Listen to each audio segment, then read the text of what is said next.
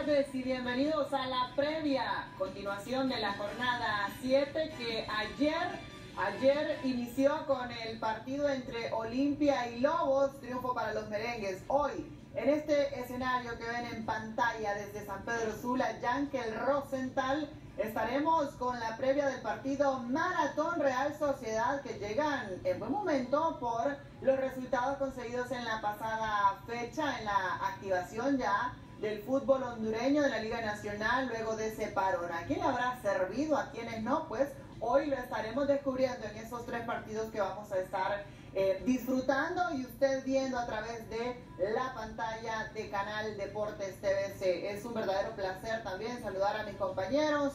Gonzalo Carías y Julio Núñez. Seguimos, seguimos con el fútbol este fin de semana. Exactamente, Isabel. Buenas tardes, amigos de Deportes TVC. Es la jornada 7 que nos convoca y que naturalmente nos tiene aquí al pie de la bandera, Isabel y Gonzalo, para un gran partido de este sábado eh, muy futbolero que contempla dos partidos más.